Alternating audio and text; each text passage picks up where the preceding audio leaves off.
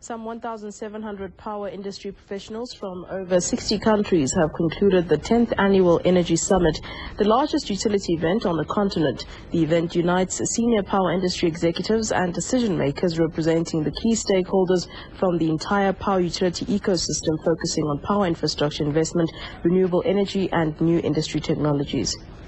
The event took place as the South African Energy Regulator granted Eskom a nearly 25% increase in electricity tariff.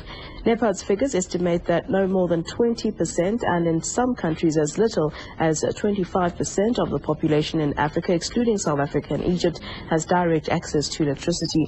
This figure falls to 2% in rural areas. Demand is expected to grow by about 5% annually over the next 20 years. Experts say it is critical for Africa to build facilities to provide power to those lacking it, especially in the rural areas where the majority of Africans live. And now to discuss the outcome of the power of the African Power Utility Week, we are joined in our Cape Town studio by Claire Volkwyn, the di project director of African Utility Week. Thanks so much for joining us, Claire. Thanks for having me.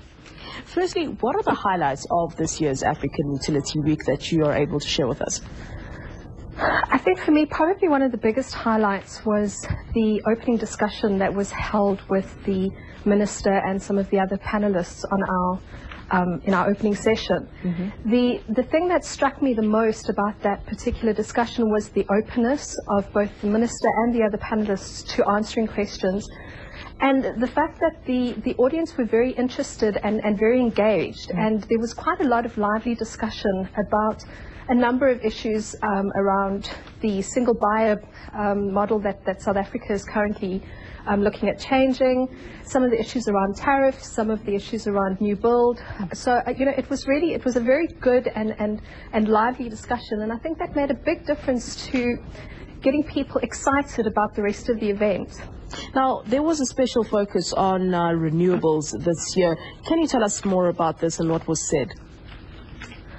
Well, as somebody said at the conference, renewables is the new sexy word for the season.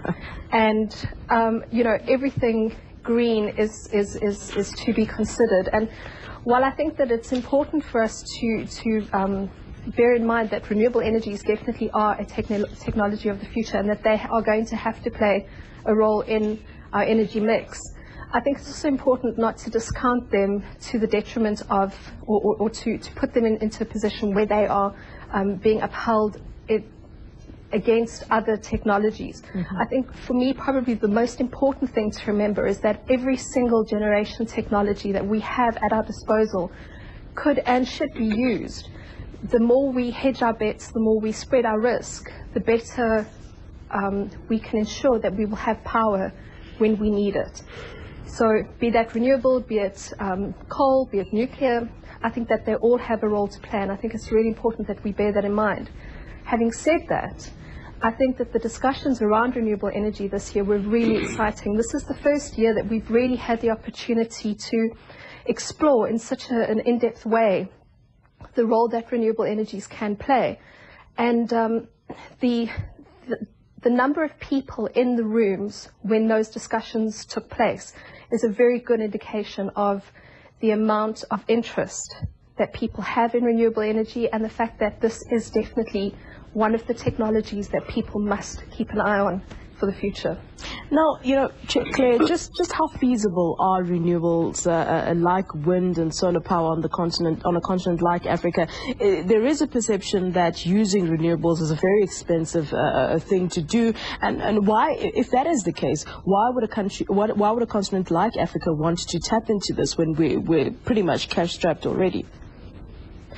Look, I, I, don't disagree that, that in many ways renewable energies can be expensive, but I think that you need to take that into context. Yeah.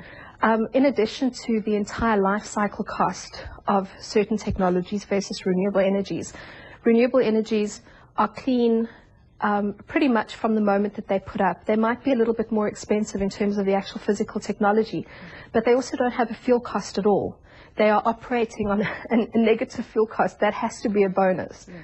In addition, uh, we, we're all very well aware of the fact that we've had yet another increase in the tariffs for South Africa. And, um, you know, the more our, our sort of traditional electricity tariffs go up, the more things like wind and solar are going to become feasible.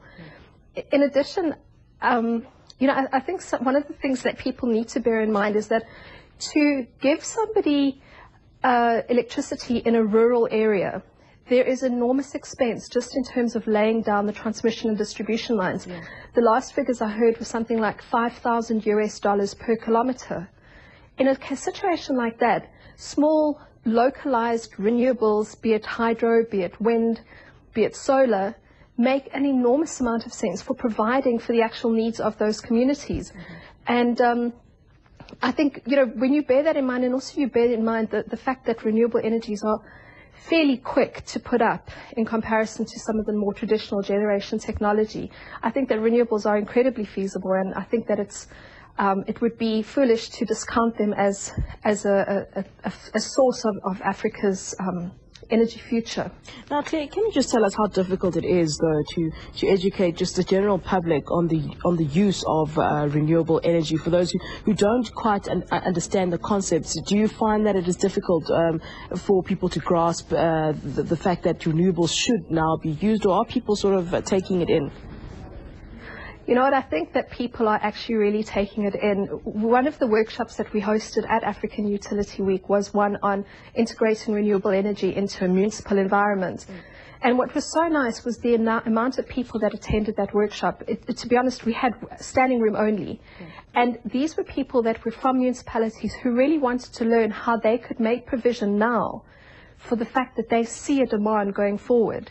Um, and it's simple things like solar water heaters, um, solar traffic lights. Yeah.